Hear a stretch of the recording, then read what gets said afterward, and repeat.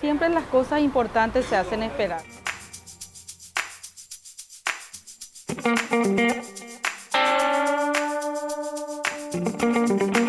¿Cómo se dio esa conversación entre Efraín y, con Lugo específicamente? Sabiendo que hubo una diferencia que los distanció durante mucho tiempo.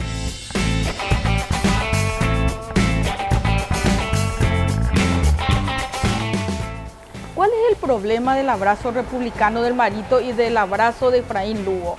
Que Marito lo hace para continuar un modelo que él criticó. Nosotros nos abrazamos para enfrentar al modelo que ambos criticamos.